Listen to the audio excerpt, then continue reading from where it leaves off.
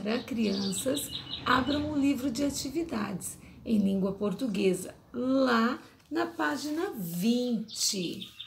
Vamos ouvir a história dos três porquinhos, contada pela Fafá. Vamos lá? Olá, eu sou a Fafá e uma história eu vou contar. Qual será? Hoje é dia de história clássica aqui no canal. Qual será que a antena vai captar? Vamos ativar? Então, repita comigo. Antena que pro céu aponta. Capte uma história que a Fafa conta.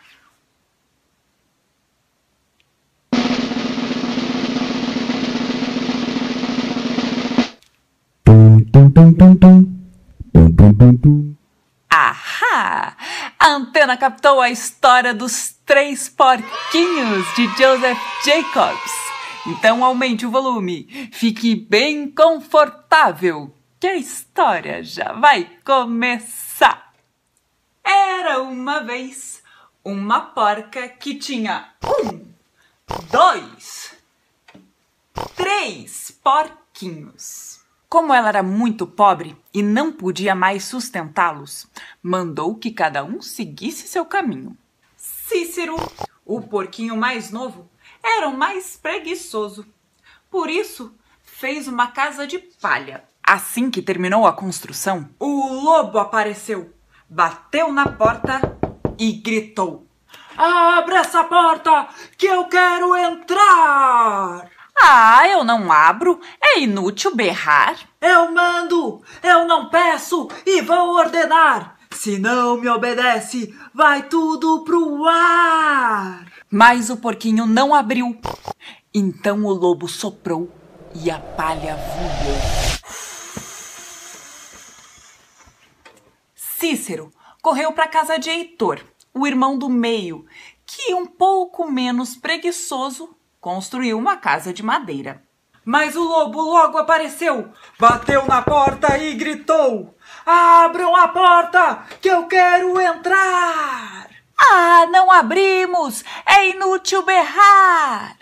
Eu mando, eu não peço e vou ordenar. Se não me obedecem, vai tudo pro ar! Mas os porquinhos não abriram. Então o lobo soprou e a madeira voou. Os porquinhos correram até a casa de Prático, o irmão mais velho e que não tinha preguiça nenhuma.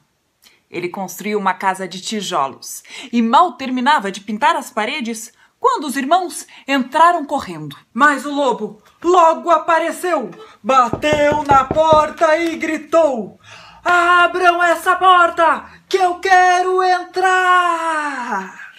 Ah, não abrimos? É inútil berrar. Eu mando, eu não peço e vou ordenar. Se não me obedecem, vai tudo pro ar.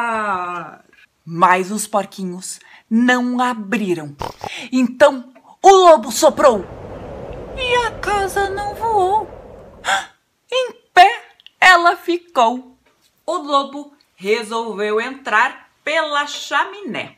Mas os porquinhos eram espertos. Naquela casa o lobo não botava o pé. Prepararam um caldeirão com água fervendo e deixaram ali logo abaixo. Quando o lobo desceu, ui, o rabo queimou e saiu voando chaminé afora. Daqueles três porquinhos, ele não queria saber agora. Você gostou dessa história? Então assista outras histórias de lobo que tem aqui no canal. Uma delas se chama Os Entalados. Quem escreveu foi a minha mãe e eu tenho certeza que vocês vão gostar. O link para a história vai estar aqui na descrição do vídeo e também aqui nesse izinho que tem, acho que aqui nesse canto ou nesse.